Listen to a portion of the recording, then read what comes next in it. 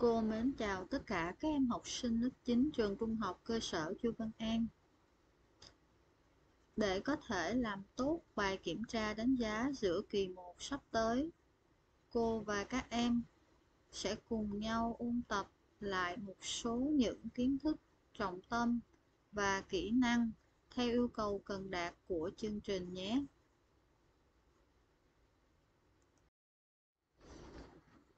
Về giới hạn chương trình, các em sẽ ôn tập các kiến thức đã được thầy cô giảng dạy từ tuần 1 đến hết tuần 8 của học kỳ 1. Thứ hai, cấu trúc đề thi gồm có hai phần. Phần thứ nhất là phần đọc hiểu 6 điểm. Các em sẽ trả lời những câu hỏi về văn bản và tiếng Việt. Phần thứ hai là phần viết Phần này thì chiếm 4 điểm trên đề thi. Tiếp theo là nội dung ôn tập. Về phần đọc hiểu, với văn bản, đề sẽ cho ngữ liệu ngoài sách giáo khoa. Câu hỏi sẽ liên quan đến kiến thức về đặc điểm của thể loại thơ như vần, nhịp nè, rồi về à, văn bản nghị luận thì các em cần cố kiến thức về luận đề, luận điểm cũng như lý lẽ và bằng chứng. Rồi các em ôn lại cách trình bày vấn đề khách quan và cách trình bày vấn đề chủ quan trong một văn bản nghị luận. Nếu ngữ liệu trên đề là một bài thơ thì các em cần đọc kỹ ngữ liệu đó để có thể xác định được các yếu tố miêu tả ở trong bài thơ cũng như chủ đề của bài thơ đó. Và hãy tập viết để có thể đáp ứng được yêu cầu của câu hỏi. Đó là mình sẽ viết từ 4 đến 6 dòng để trả lời một câu hỏi về một vấn đề liên quan đến ngữ liệu ở trên đề bài nữa. Thứ hai là tiếng việt. Các em ôn lại các đơn vị kiến thức Thứ nhất là biện pháp tu từ chơi chữ, điệp thanh, điệp vần, đặc điểm và tác dụng. Và bài thứ hai đó là cách tham khảo, trích dẫn tài liệu để tránh đạo văn. Câu hỏi sẽ yêu cầu các em xác định và gọi tên một đơn vị tiếng Việt có ở trong đoạn ngữ liệu hoặc là sẽ tìm và phân tích tác dụng của một biện pháp tu từ nếu ngữ liệu là một bài thơ và các em cũng cần có kiến thức để có thể trình bày một số uh, quan điểm về cách tham khảo cũng như trích dẫn tài liệu như thế nào để tránh đạo văn.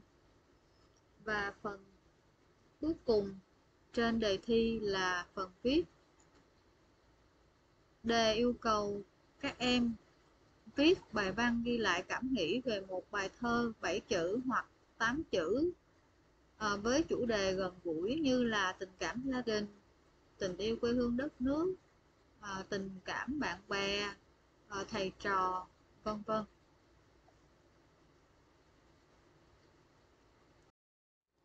Sau đây là một vài gợi ý cho phần viết.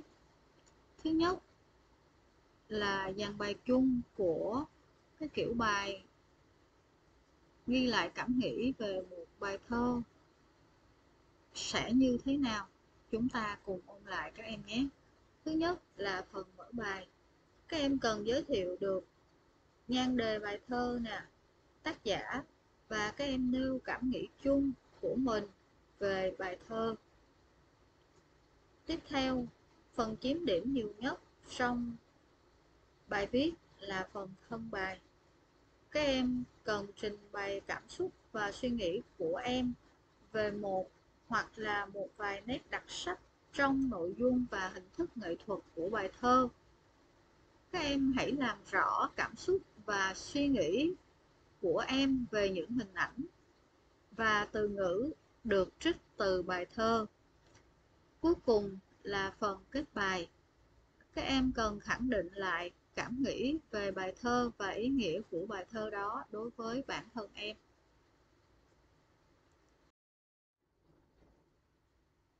Có một vài điều cô cần lưu ý các em về bài viết ghi lại cảm nghĩ của bản thân về à, một bài thơ. Đó là em cần đảm bảo yêu cầu về hình thức của bài văn gồm có 3 phần, đó là mở bài, thân bài và kết bài. Người viết chú ý sử dụng ngôi thứ nhất để chia sẻ cảm xúc của mình về bài thơ. Các em cần nêu và phân tích được những nét đặc sắc về hình thức nghệ thuật đối với việc thể hiện nội dung nhé.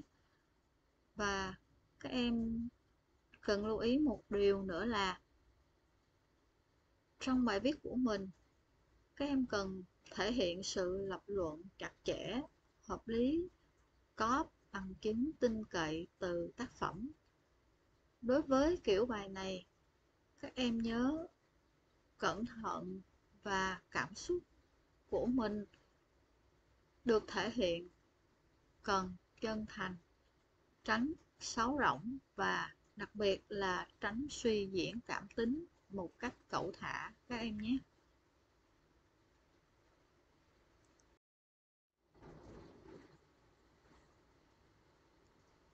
Tiếp theo sau đây cô giới thiệu với các em một số bài thơ có chủ đề gần gũi để các em có thể tự ôn luyện ở nhà. À, đó là bài thơ nhớ con sông quê hương của nhà thơ Tế Hanh.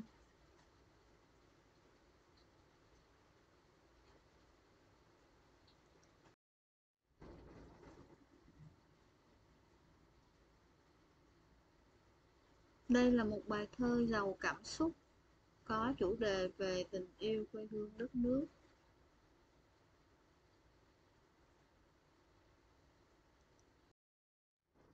Bài thơ được Tế Hanh sáng tác vào tháng 6 năm 1956 khi tác giả tập kết ra miền Bắc sau cuộc kháng chiến chống thực dân Pháp. Và bài thơ mẹ và quê nhà cũng là một cái bài thơ có chủ đề về tình cảm gia đình à, rất là gần gũi mà em có thể ôn luyện. Cô có một vài gợi ý nho nhỏ cho các em để các em có thể ôn luyện thật tốt. Thứ nhất với cái thể loại này tức là cái thể loại viết bài văn ghi lại cái cảm nghĩ của em về một bài thơ thì em có thể viết theo quan điểm và cảm nhận cá nhân của em. Nhưng các em chú ý là quan điểm trình bày và những cái cảm nghĩ của em về bài thơ cần phải hợp lý thì mới có sức thuyết phục và lay động được lòng người. Thứ hai về một số kỹ năng. Có rất nhiều cách khai thác. Bài thơ, cái hay, cái đẹp của bài thơ. Ở đây cô gợi ý cho các em một số cách tiếp cận với cái nét đặc sắc về nghệ thuật cũng như nội dung của bài thơ. Như sau. Em đọc bài thơ và ghi nhận lại những từ ngữ và những câu thơ gợi ra hình ảnh sâu sắc trong tâm trí em. Ví dụ với bài thơ nhớ con sông quê hương, có thể em ấn tượng với hình ảnh con sông xanh biếc với hàng tre ờ, với hình ảnh của bạn bè tôi tụm năm tụm bảy bầy chim non bơi lội trên sông chẳng hạn. Hoặc với bài thơ của từ kế tường thì uh, gợi ra hình ảnh trong tâm trí của em đó là hình ảnh là câu thơ lá tre già rụng gốc sân xưa. Và sau đó em nhận xét về ý nghĩa hình ảnh và vai trò của hình ảnh đó trong việc thể hiện chủ đề nêu cảm nhận về sự đặc sắc của hình ảnh em chọn. Ví dụ với bài thơ nhớ về con sông quê hương em chọn những cái hình ảnh miêu tả dòng sông quê thì ờ, khi sau khi đã chọn những cái bằng chứng từ trong tác phẩm thì em cần nhận xét về cái ý nghĩa và em nêu, của hình ảnh đó và em nêu cái cảm nhận về sự đặc sắc của hình ảnh. Như ở dòng sông quê hiện ra thật là đẹp, thật là mát lành, trong trẻo rồi gợi nên cho ờ, người đọc một cảm giác thật bình yên, thật yên ả hoặc em cũng có thể nêu tác dụng của biện pháp tu từ mà em thấy rằng là nó rất, rất là đặc sắc và em rất là thích.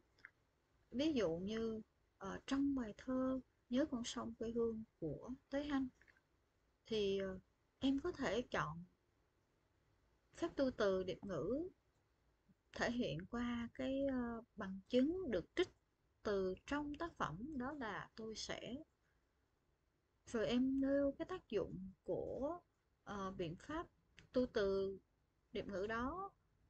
Cụ thể ở đây là à, thể hiện à, nỗi nhớ quê hương sâu sắc và khát khao trở về quê hương mãnh liệt của nhân vật trữ tình.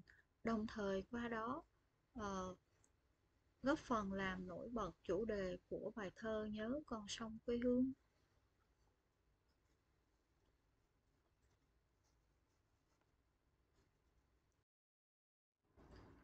Cô cảm ơn các em đã theo dõi bài học này. Mến chúc các em thi thật là tốt. Cô chào tất cả các em.